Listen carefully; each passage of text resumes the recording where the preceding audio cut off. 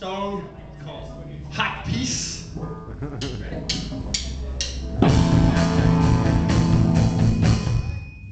Oh. Good job.